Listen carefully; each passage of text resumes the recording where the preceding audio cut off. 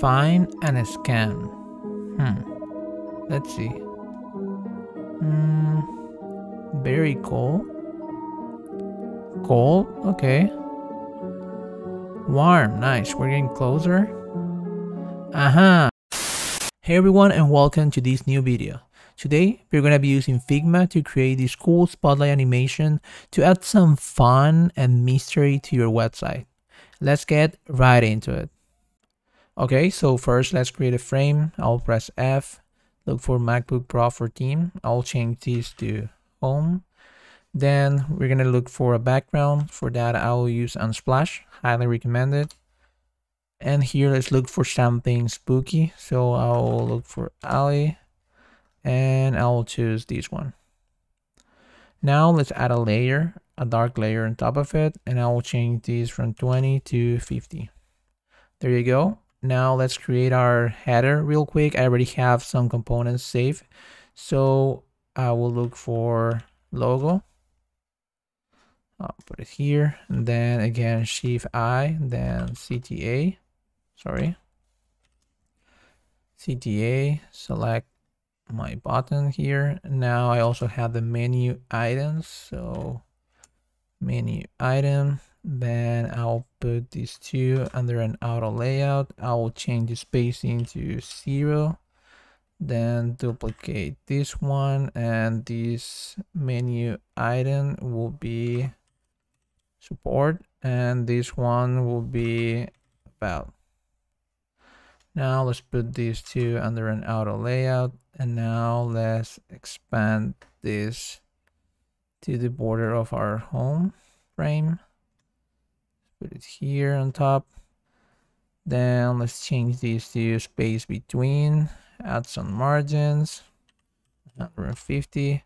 And of course, let's add some padding. Let's move these to 30. Cool. Okay, now we have our background, the layer on top, and the header. Now let's add our main text and the other components that go underneath our, our spotlight layer. So for our main text, and I will want these to be 140. And I want these to be semi-bold. And the text will say fine. And scan. And I can make it a little closer something like that. And I want it to align to the logo. Okay now let's add the other component let's say very cold cold warm and then the QR code. For the very cold I want these to be 46 and this will be medium. And it will say very cold. And I want to add like a like a gold color so it will be this light blue.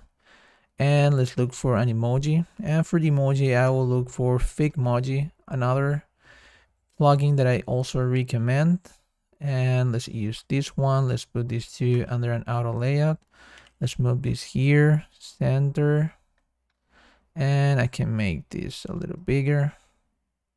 Cool. And let's put it around here. Okay let's duplicate this one. Change this to gold. Sorry. And I will make it smaller. I will press K and make it a little smaller something like this. Now let's duplicate this one again and let's change this to warm. Let's look for a warmer color. I'll select and I have this orange here. And then I recommend you to select the component before looking for Figmoji otherwise you will paste the, the, the emoji anywhere. So I will select this one and we'll move it here and I'll delete this one and I will make it a little bigger something like this okay and now we need our QR code. And I already have that component, so I will press Shift I, and here we have my QR code. I highly recommend scanning the QR code. It will take you to the absolute best YouTube channel. Then again, I'll want another CTA. Put it here, and these will be scan me. Let's put these two guys under an auto layout. Let's make this instead of hug fill container. And here we go. So we have all the components that you probably already knew how to make. So now let's focus on the fun part that is the spotlight layer. But before doing that, you need to go to the bottom of this video and if you're finding this helpful, please like it because it really helps for the YouTube algorithm and it will only take you a couple of seconds. So thank you so much for that. Okay, so the first thing we need for our spotlight layer is a gigantic rectangle. So we press R and we create a big rectangle. It should be way bigger than our home frame. So let's keep it something like this.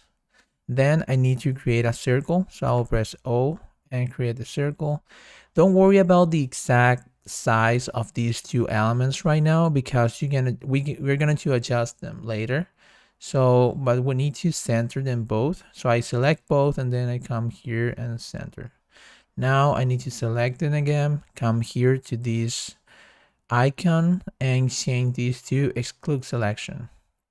And that will make a hole in our rectangle. And now I can change this to black but if I keep the layer like this, the spotlight effect will be like very sharp. It will not have that gradient effect. So to get that gradient, let's come here to our exclude selection and duplicate our circle, pressing Command D. And then I will move this new circle outside of our exclude layer. Then I will select this circle, come here to fill, change this to black and from solid to radial.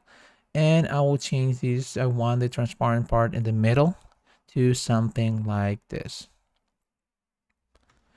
And now I need to select all of these two elements the new circle and my exclude layer. And I will put these two under a frame. And then before adjusting the frame I will select again these two elements and center because I want to keep them in the center after after adjusting the frame. And the new frame should have the size of my home page. So it will be something like this. And then let's make it like this and then adjust the size once we put it inside. So we move this inside and let's align it here. And now we can adjust the final size to something like this. Cool. Now I need to rearrange the elements so I have the header on top. Let's move this on top. Then the text also goes on top. Cool. And I'll change the name of this layer to a spotlight and the final step is to select my spotlight layer, go to prototype and change this to horizontal and vertical scrolling. And now let's see how it looks. I'll select this, go to prototype. So now we have our spotlight effect already working. But if I go to the extremes of the of the screen, I, you can see the border of a rectangle and that's where we're going to adjust the size of the rectangle and also feel that our circle is a little too small. So now we can adjust that part too. I'll go back to here. I will choose my my home frame and I'll unclip selection. And to adjust the size, just make sure that you select the component, in this case a rectangle. And to keep it center, I will press option and adjust the size like this. So I will keep it center. And then I will select my two circles and I will press option shift to keep both center and make it bigger. Something like this. Cool.